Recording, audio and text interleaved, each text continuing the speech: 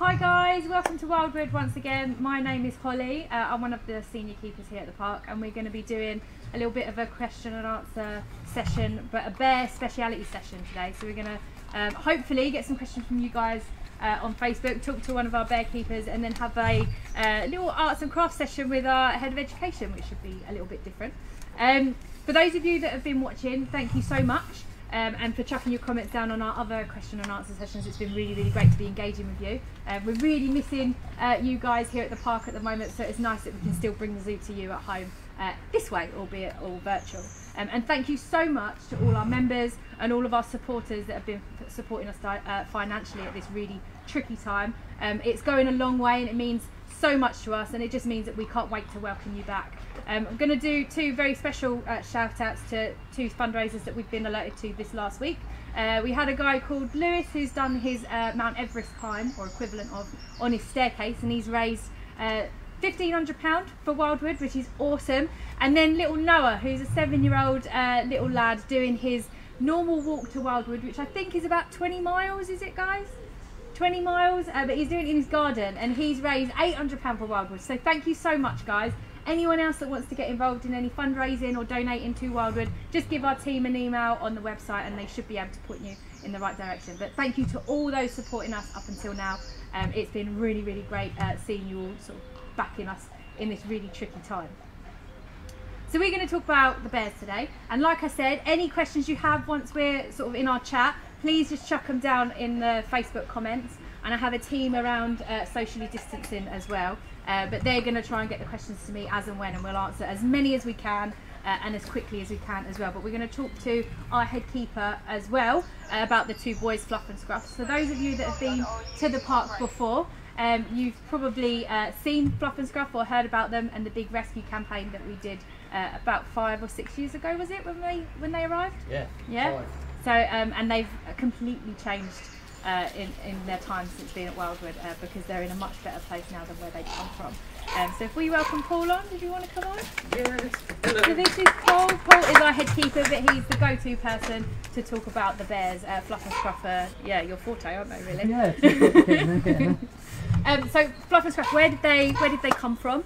Uh, what's their sort of background? They were kept in a canned hunting facility in Bulgaria, Komishkop in Bulgaria.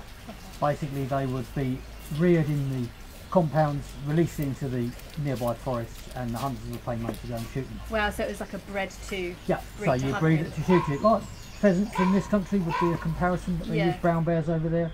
A lot bigger.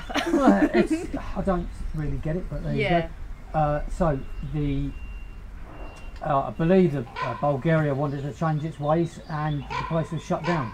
Um, okay. Consequently, there was, I believe, up to about 13, 14 bears in that facility, and the people that used to run the facility just left.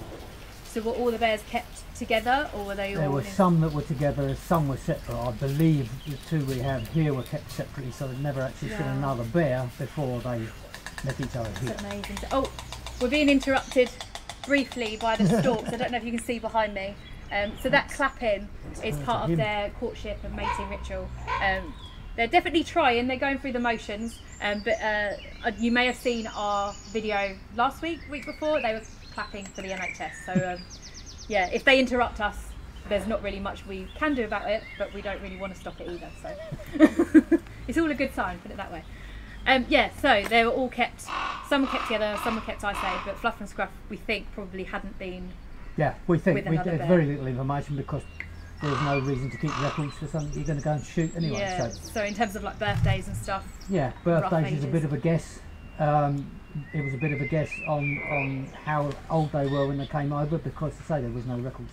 So consequently, uh, we had 15 when they came in, and now they're 60 right now. We made the year for them went from there. So they have a summer party. um, so Fluff and Scruff, when, so on that day when they arrived, they obviously weren't together when they were housed at the, the refuge, um, the, the site. How long you, did it take till you could put them together here, and how and how long did that introduction process take? The introduction process probably took, I would say, eight to ten months. Wow. but they were separated for four because they had to go through their quarantine hmm together. So we had only the shut off, shut off facilities for them. So we had to let one out and keep one in, and we had to do that while the main enclosure was being built. We Wow. were still at that point. Uh, I think it took about ten months to complete, and we were still at that point. where We were going to let one bear out Okay. at the time. So when you look on the back on the on the footage, we'd sort of got further forward with the bears than the actual enclosure was allowing us to do. Okay. So then we got right the way round to the following season, which would have been 2017, Yep. early in the season, and we put them together then. Um, but they'd already decided um, who was in charge at that point. But that's a lot easier, isn't it? Because then you don't get this Yeah, there, there is. explosion. you, you learn to, you learn your animals and you find out what they're like and who they are, uh, what the what the needs are. yeah. They were suffering a lot from coughs, a lot of coughs going on. Okay. coughs, snivels, conjunctivitis, a lot of um, niggles, lumps and bumps. You'd almost put it along with uh, old age and out of condition. Okay. Um, so, uh, consequently, when we did put them together, we thought that they were both fully fit. It turned out that Fluff had only just got over a, a bit of a bout of coughing, Okay. and he wasn't as fit as we thought he was. So consequently, he became the subordinate animal for about four months until he got better, and then he took over from uh, Scruff, and that's that's uh, where it stayed ever since. So at the moment, Fluff is Fluffy's the boss way way man. dominant. in there. Cool. Um, and, they, and they get along really well now. They get along really well now. I, I think a lot of that is because uh, they know the structure that we keep them at, so uh, they are expectant. Um, they know what's going on, and they, their their their whole outlook is changed because they have a structure that is seasonal, which is what they should be doing. Yeah, exactly. So in terms of the um, the site in Bulgaria, obviously we've got two of the bears that were there. Do you know what happened to the other bears? We, we believe that two went to Germany, two went to Belgium, and four went to uh, Bears in Mind in, in Holland, uh, who were, were they were then alerted. They're now Bears in Mind, okay. uh, and that is the people that are helping us with these and the new youngsters. the nuances which we will get we will get to them. Um, so essentially all the bears that were at the site got Yeah, got, Got breasted, housed, got, a, yeah. got a happy ending. some are doing far better than others. Yeah, it's a long time to be stuck in what what was essentially a concrete Yeah. concrete box, wasn't it? Concrete box. Um, so there was a lot of a lot of um, not so comfortable behaviours to watch. Yeah, a lot of stereotypies Yeah. and, and uh, awkward behaviours. Um, not good for them, but we've discussed that on many occasions. Yeah, see what we can do stereotypically about is like a whole other topic. Um, so in terms of um, you mentioned about having sort of coughs and, and colds and, and stuff like that. Do you get much of that now? We don't. We don't get any of that now. That is amazing, isn't and it? there's, So, a, there's one big reason for that. and which I'm going to talk about. um, so here at Wildwood, there's a really unique part of Scruff and husbandry that the team here have developed and kind of flipped the lid on, on captive brown bear husbandry, um, and that's torpor. Um, and it's quite easily seen that the bears are completely different animals from pre-torpor to post-torpor. Um, coupled with the enclosure that you've given them and the diet you've given them, everything that, that you've chucked in that enclosure and given those bears is all sort of linked in.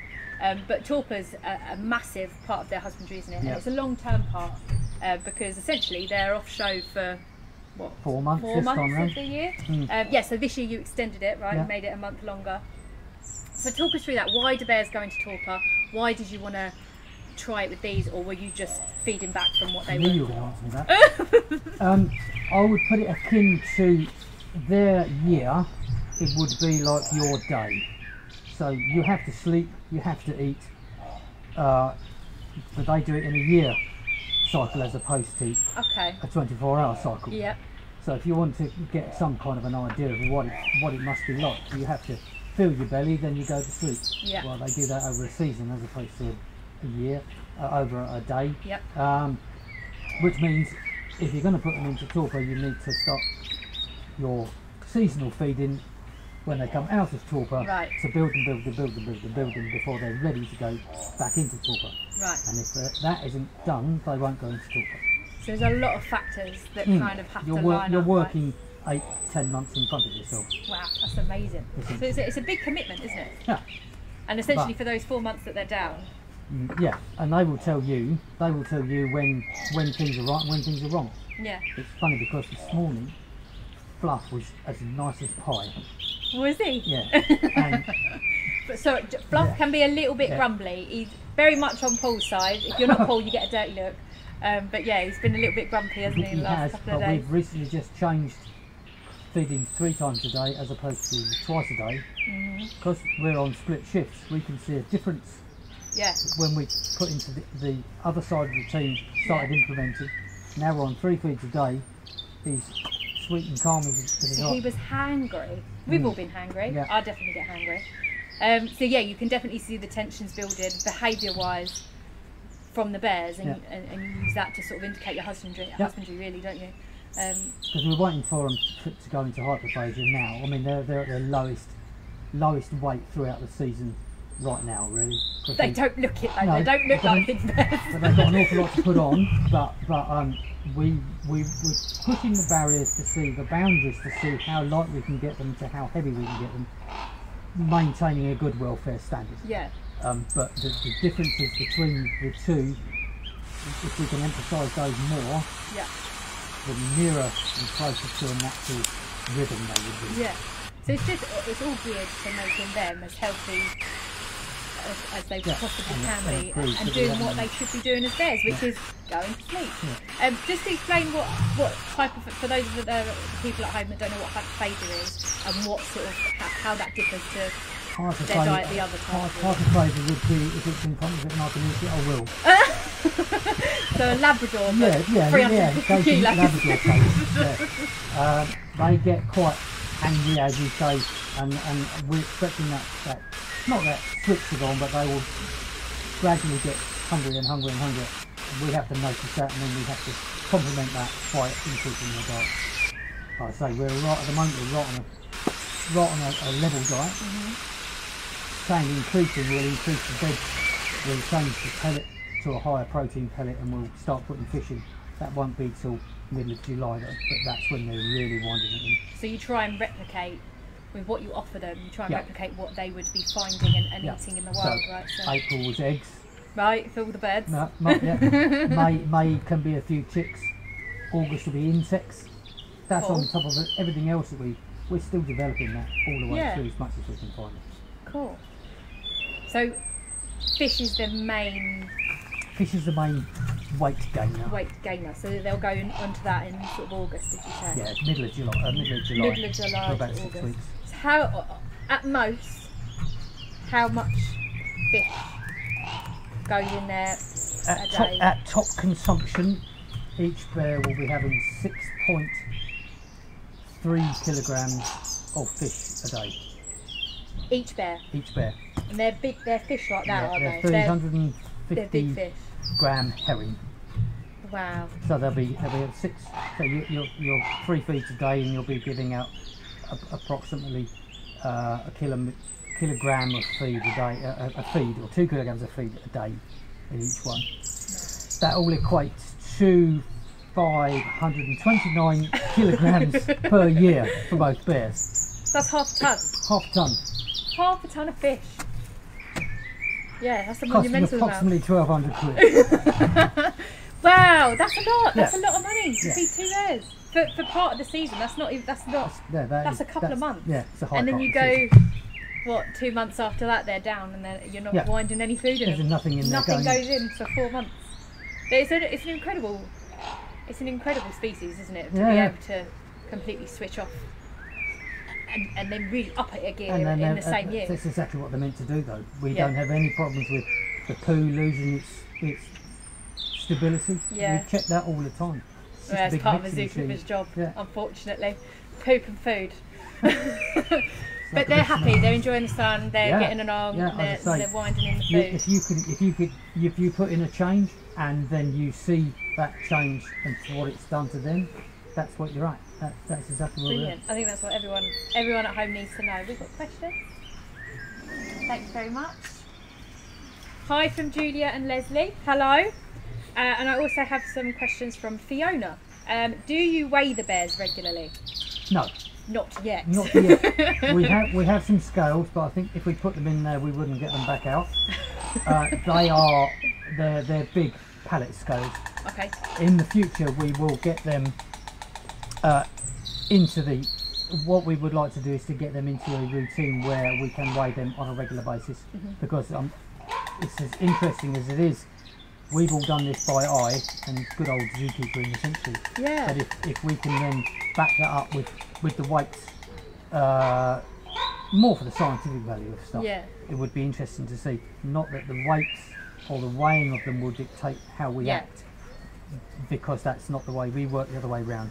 Well, you work with the bears, don't you? You the want the bears, bears so- to tell you when it's time and when it's not time, rather And then than it should be about the same all, Yeah. the, all the time. exactly. So Perfect. yeah, but i i in the future we will be, and then also on top of that we'll be doing uh, stretching exercises to see how fit they are at which time of the year, so that if you're a, like fluff a bit lazy, you won't. But it can't be bothered. we saw to, him run the other Yeah, day. to, to, to stretch because you know I just can't be. yeah. Um, or whether I'm hungry enough to do my stretches. So right. train a bit of training. uh, We would like to call it a bit of uh, what's the word? Conditioning. That's the Conditioning, word. yeah. Yeah.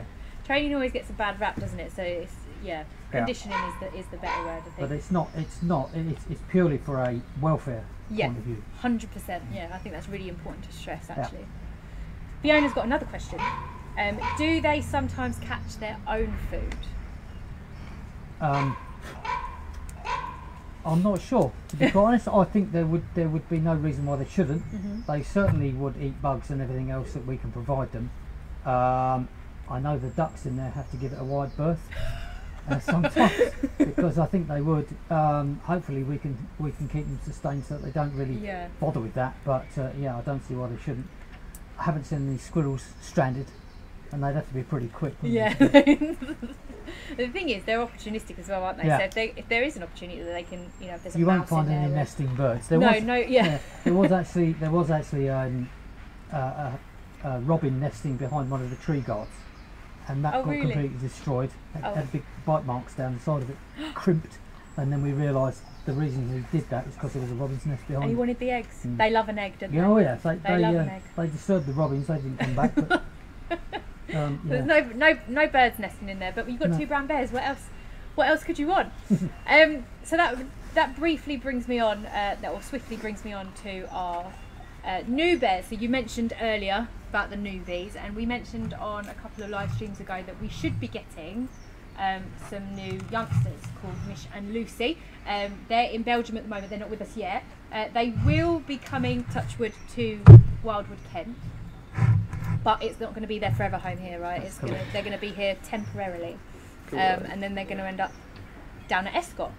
Um, so, in terms of the background of these two young bears, that's another rescue, isn't it? But it's a different rescue Yeah. situation to I'm not fluff and particularly sure, yeah. but I think it was a, a, a mother was killed in some pipeline. They've been orphaned, they've been some, orphaned somehow. somehow. They were try, they were attempted to be uh, released, and then it didn't work. So we, then they've became super situated people, and they've had to be to be brought in.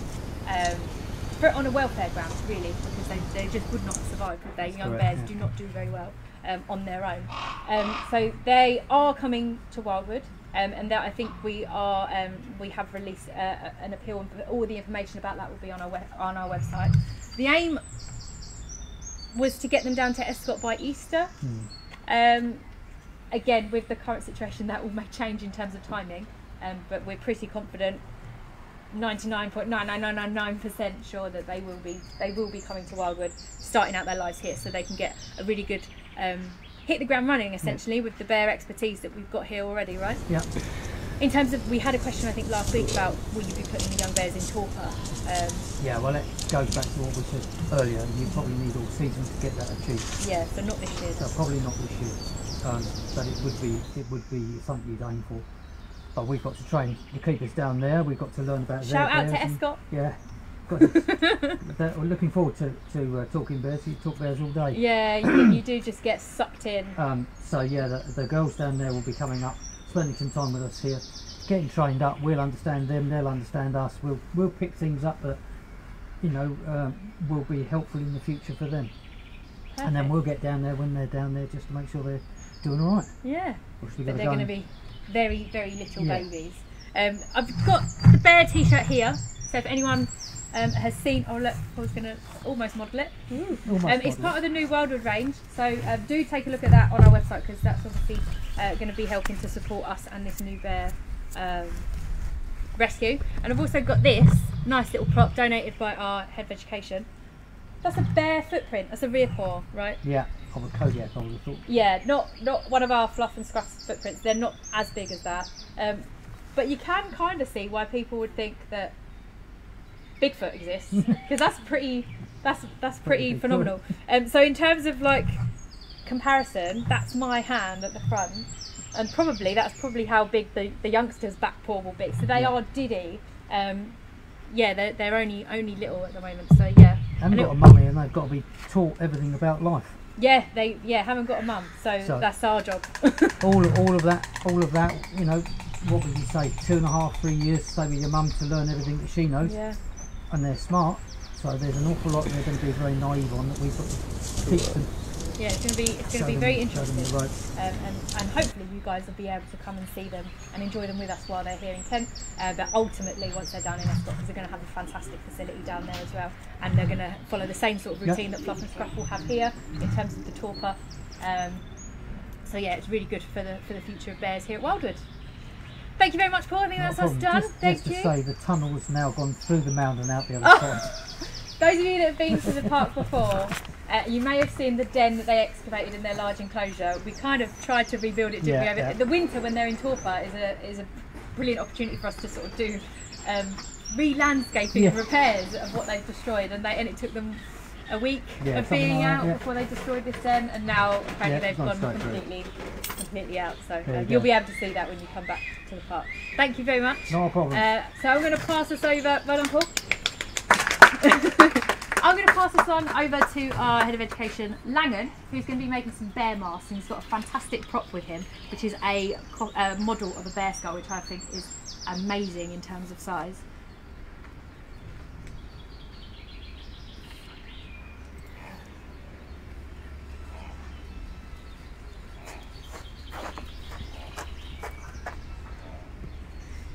So I've had to uh, promise Holly that I would actually say that uh, the mask we'll be making will not end up looking like this. Uh, again, this is a model prop. It's a skull from a brown bear, and again, this is probably Kodiak brown bear, so the biggest of all brown bear subspecies. What we'll be doing today is we'll be making masks that look, hopefully, a bit like this and we've tried to make it as straightforward as possible. What you'll need, uh, you'll need pencils, scissors, glue, uh, coloured card. Don't worry if you don't have colour card, there is another option I'll tell you about at the end. And an assortment of household items. This will make sense in a couple of minutes' time. So, when you watch a lot of shows uh, and they're showing you how to craft things, they have lots of complicated equipment. No, we're doing simple stuff because we're still in lockdown. So to start with, you need a piece of card that's the same colour as the mask you want to make, in this case brown, and a nice round plate.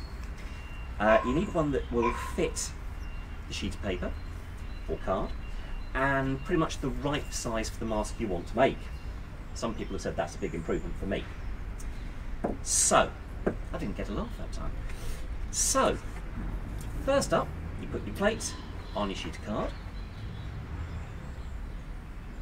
Very simple, just trace round with pencil. Don't need the plate anymore. Then, first bit of cutting out, I should say there's a lot of cutting out. So if you are very young, you might want to get help from parents. Certainly, if you're little, you'll probably want safety scissors. So you cut all the way around the circle, and in best, best Blue Peter style, you should end up with something that looks rather like that. That's going to be the face. Don't worry about that for the minute. Just put that to one side. Next up, you need two round objects. In my case, this is a mug and a glass. They need to be round. One needs to be a little bit smaller than the other. This one uh, is going to be outside of the ear. So again, fresh piece of card. And you're going to need two of these.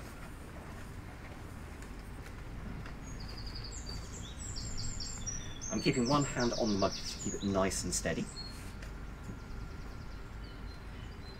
And here's the second one.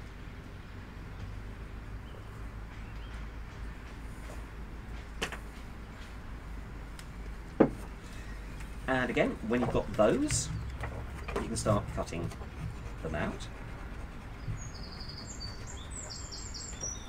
And as before, I've got one that we did earlier. So you should end up with two brown circles that look a bit like that. Next, you change colour. Well, you don't change colour, you change the colour card you're using. So now we're on to white with the glass. And again, I'm holding the glass gently but firmly in place and tracing round. If you've got uh, an adult assistant, they can always hold the glass in place while you trace around it.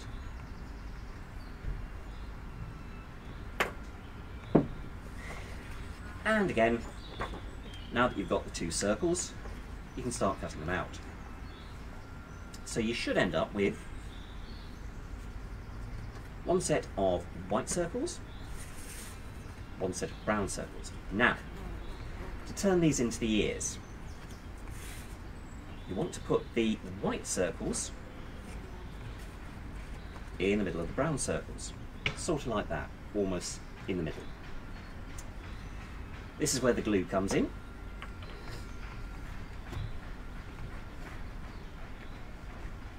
Use a technical term, that's a nice wodge of glue flip that over and sort of gently press it and smooth it down like that. It looks something like that. When you've got the two ears done, once you've let them dry a little, it's time to pop them onto the main part of the mask. So if you take the original big circle, what you want to do is glue these on at the top and slightly at the sides. Now this is the sort of tricky bit where you play around a little bit to start with to get a position you like the look of. That's about right. You don't want too much the ear showing or it'll look like Mickey Mouse. And we don't want to get sued by Disney. Um, that's about right. So again, this time only put a little bit of glue on, on the side that's going behind the mask managed to get some on the table there. I should say, if you're doing this on a kitchen table, make sure you put something down first. Otherwise I'll get angry letters. And again, pressing down gently on the main part of the mask. Now you've got the one ear. This is always the fun bit of trying to get the other one sort of lined up. That's, yeah, that's about right. So you've got the same amount of white showing, if you really want to cheat, you can sort of draw a pencil line on.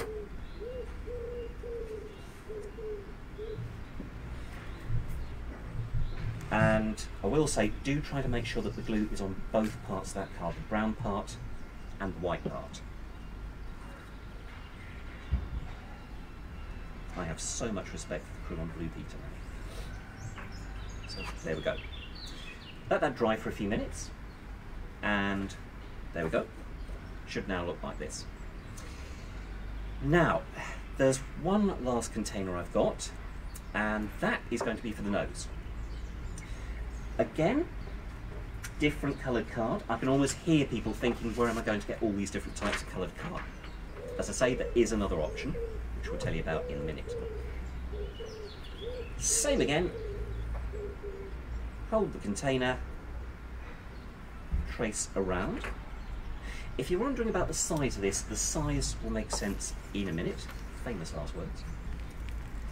And again, you can start cutting out black circle.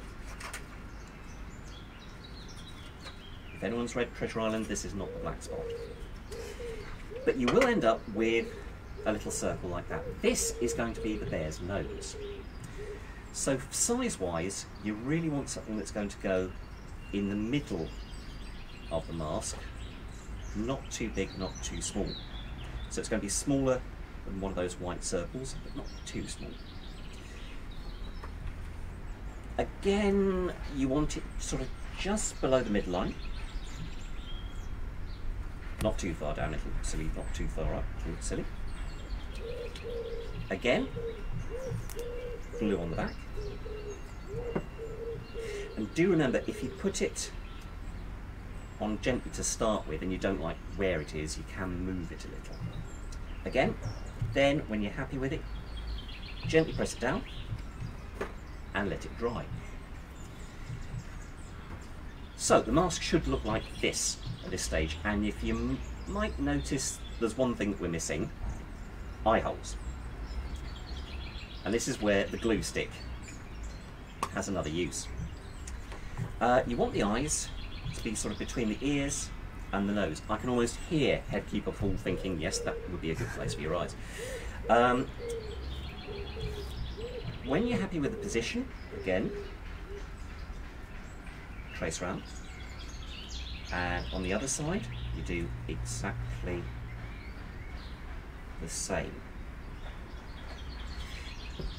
This bit is probably the most tricky of all. So if you are young and if you do have parents helping you, this is where they get the sharp scissors to actually do the eye holes. Hopefully this is not going to be the bit where I actually puncture myself on the live cast, but again, don't do that on an antique desk or table or anything like that. And once you've made the start of the hole, then very gently you can start snipping round the outside. Don't worry if it goes over the inside of the ear. If I turn it around you can actually see it's catching the edge of the ear. That doesn't matter. When I was working on these yesterday I ended up with all these little sort of circles all over the floor. It looked really weird. So, that'll start to give you your eye holes. Once you've finished that, you should have something that looks rather like this. Uh, what we've done next is we've actually put a couple of little holes in the side and we put the, it turned over, brilliant. Um, we put some yarn through so you can attach it around the back of your head. We've used a sort of dark brown card because it's the same sort of colour as Scruff. Truth is, you can use any colour card that you have or you want. Yeah, again, another brown bear. I did say at the start, if you don't have lots of colours of card, do not worry. If you have white card, you can do everything I've done to this stage, but you just colour in the different bits. Uh, this was expertly coloured by me in Crown yesterday afternoon. So we've got the face in brown, the large parts of the ears are brown as well, and the nose is black. And that way you can do exactly the same steps and have a nice coloured mask, but just using the white card to start with. And that's the mask.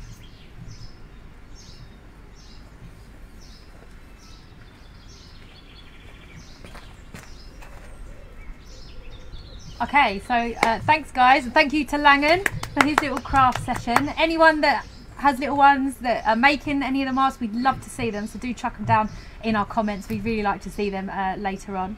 Um, and that's it for this week's live stream. So thank you so much for watching. Uh, massive thank you to everyone still supporting us uh, and engaging with us. We really, really appreciate it. Uh, we should be back next week. Um, subject is yet to be confirmed, but we're definitely doing one next week. So do tune in for that um, next next Thursday, 11 o'clock, same time, same place. I'll be here. Um, but thank you very much, and we'll hope to see you again soon.